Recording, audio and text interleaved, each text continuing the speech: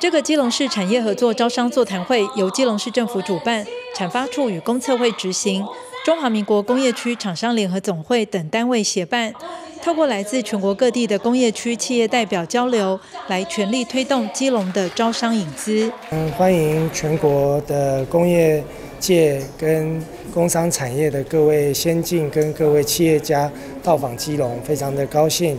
那基隆未来也要成为一个产业招商的一个聚落。我们他们他们的团队还有工作的伙伴是让我们我们各企业、我们各厂商哦，对基隆啊更了解哦。阿拉拢知啊，在港口城市都是非常的发达，全世界所发达的东西拢是港口。现在一系列已经有很多的政策，希望能够邀请更多的企业能够来进驻。已经进驻的企业，我们也欢迎利用更多容积奖励、工业区立体化的方式，能够增加更多办公作业及生产的面积。所以我们在各方面都在推动，让我们的企业能够在基隆可以增加更多的产值。政府也积极的努力，希望来协助在各方面的一个啊问题。希望能够解决大家的问题后，能够有效的让大家更深根基哦。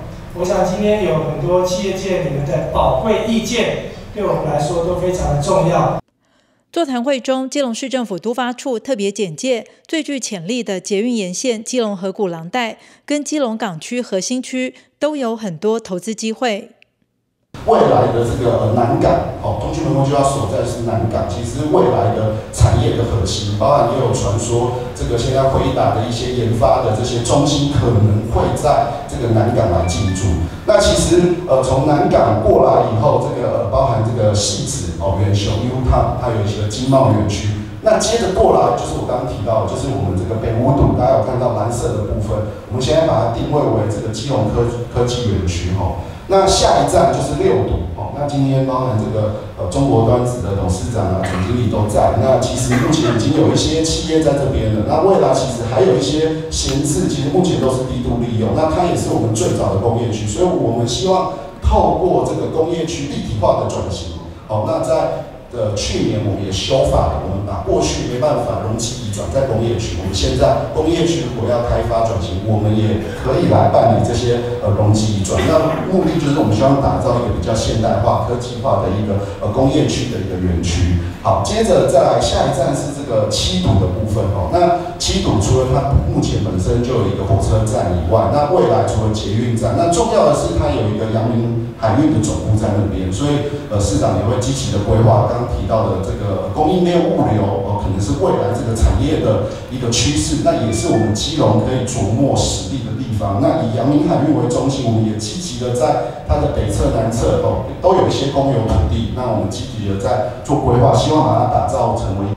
其实我跟各位，给来的实力哦，不是硬的实力，是软的实力，开幕。基隆开埠一百多年来，哈，它真的是一个老旧的城市。如何翻转它？我觉得是跟台湾人哦有一句话：国外的人来说，台湾的美在内心，那基隆的美在文化。所以站在一个我们谢市长带领的市府团队里面，如何把软实力建构出来？台湾跟在什么场购啊？一个亲子平台，博克莱大学。教学，还有改善人行道，还有最新讲的电动汽车，大陆性都于有都都是城市提供电动汽车。市长谢国良也强调，市府积极进行国际化的产学合作，培养人才，也希望透过这场招商座谈会，展示基隆的投资环境和商业潜力，吸引工商界来投资基隆。记者黄日升、陈淑平，基隆报道。